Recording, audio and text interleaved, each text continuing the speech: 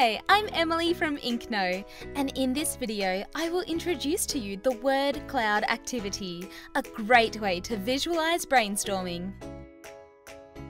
In this activity, I will be asking my students what their top three favourite inventions are. To convert it to a word cloud activity, click here to add the corresponding question button. Since I only want each student to submit three answers, I will check this box and select three from the drop-down list. That's it! My question has been set up.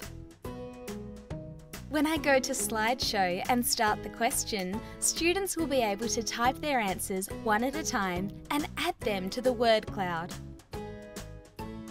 On the PowerPoint side, the word cloud transforms in real time to reflect the students' submissions. Words that are added by more students will grow larger, so I can get a really good idea what are the most liked inventions among my students.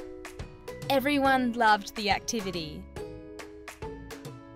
I can mouse over any words to see its submission count and click in to reveal the student names. In addition, I can further highlight the top answers by clicking here. Did you know that the button will turn green if it has student responses stored inside? I can click on it anytime to view these submissions, both during slideshow and in PowerPoint edit mode.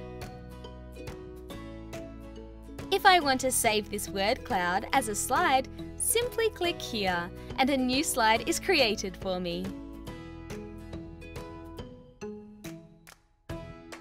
When I open the Notes section, I can see each of the submitted words followed by student names.